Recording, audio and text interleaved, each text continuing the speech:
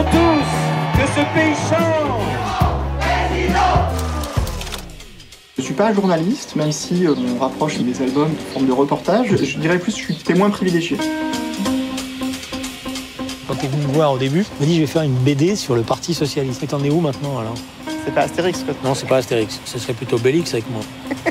On peut pas se désintéresser de la politique.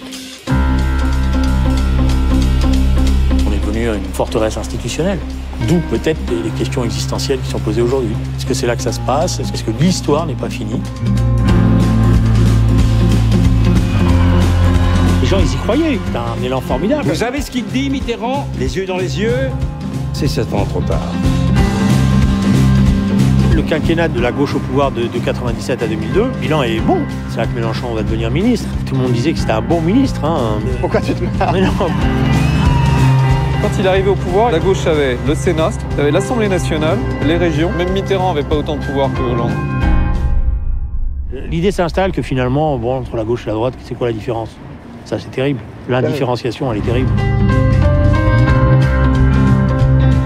Pourquoi ne pas parler d'union des gauches? Chacun pour soi.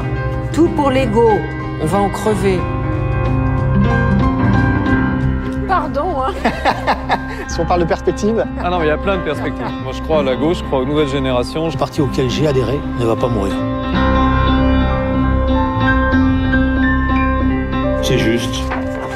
Comme toujours avec Sapin, c'est juste, il pique le truc.